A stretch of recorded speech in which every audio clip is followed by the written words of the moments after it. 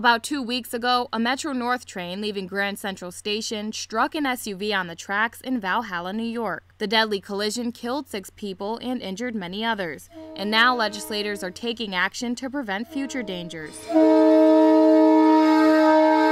On Sunday, U.S. Senators Chuck Schumer and Richard Blumenthal introduced a new bill to improve rail crossing safety. The Highway Rail Grade Crossing Safety Act of 2015 focuses on three E's to improve safety engineering, education, and enforcement. The legislation aims to provide the Federal Railroad Administration, states, and communities with more funding for safety upgrades at rail crossings, such as new lights, signals, and signs and to separate roadways from rail track by building bridges and tunnels. It would also provide resources to boost education and public awareness of grade crossing dangers and help law enforcement reduce related traffic violations. Senator Blumenthal said, Without the decisive steps we urge, rail grade crossings will continue to be accidents waiting to happen. In fact, accidents happening daily and repeatedly, including at more than 600 sites in Connecticut. Every year, there are more than 2,000 such collisions nationally, causing over 230 deaths and nearly 1,000 injuries. For more information on the proposed legislation, visit itsrelevant.com. I'm Samantha McKelvey reporting for It's Relevant News.